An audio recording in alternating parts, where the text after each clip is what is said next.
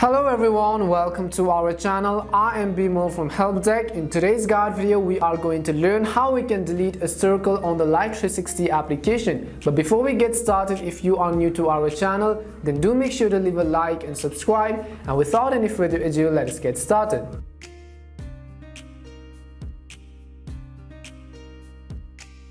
So in today's guide video, we're about to simply learn how we can delete a circle on the Life360 application. But for that, you want to simply make sure to watch today's video till the end because I'm going to show you how you can really easily do that.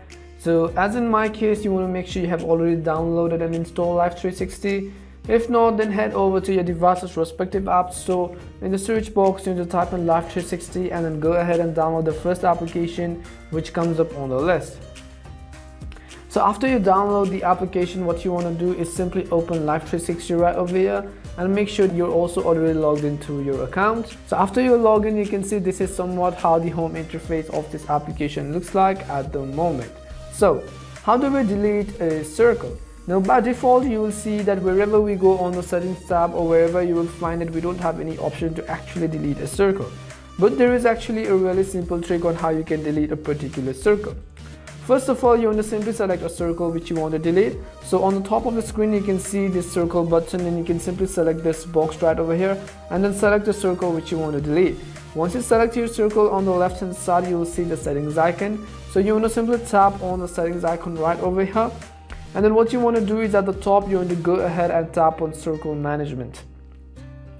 As you tap on circle management here, you want to scroll down to the bottom of the screen and you will find an option called delete circle members. So you want to simply go ahead and tap on delete circle members. Now here you will see a list of the people who are actually on this circle.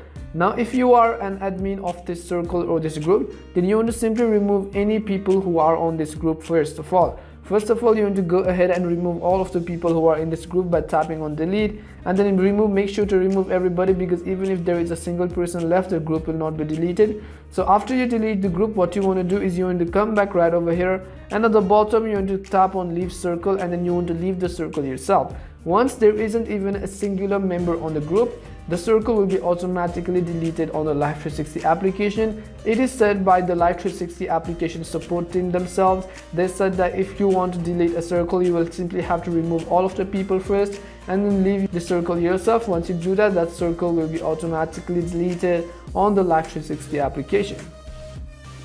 So we hope this video was really helpful and if it did help you then make sure to leave a like and subscribe. As always, thank you so much for watching till the end and see you soon in our next video.